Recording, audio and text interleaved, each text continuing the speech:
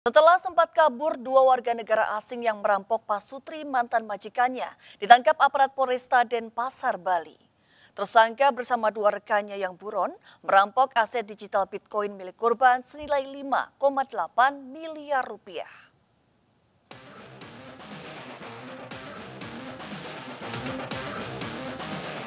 Aparat Polresta Denpasar mengamankan ND dan GLS, dua WNA pelaku pencurian dengan kekerasan.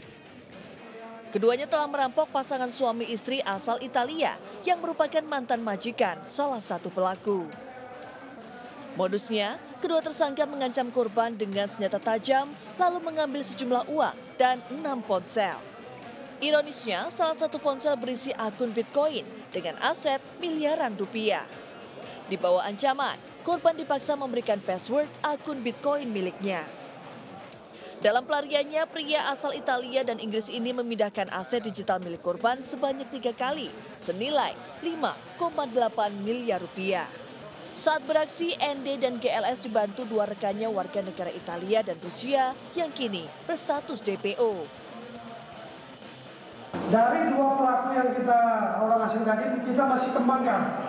Nah, ada dua DPO yang kita sudah DPO-kan, yang diduga juga nah, pelakunya orang asing. Ya, kita sudah koordinasi juga dengan imigrasi dan instansi terkait lainnya untuk uh, segera melakukan proses. Ya, kita sudah terbitkan DPO juga.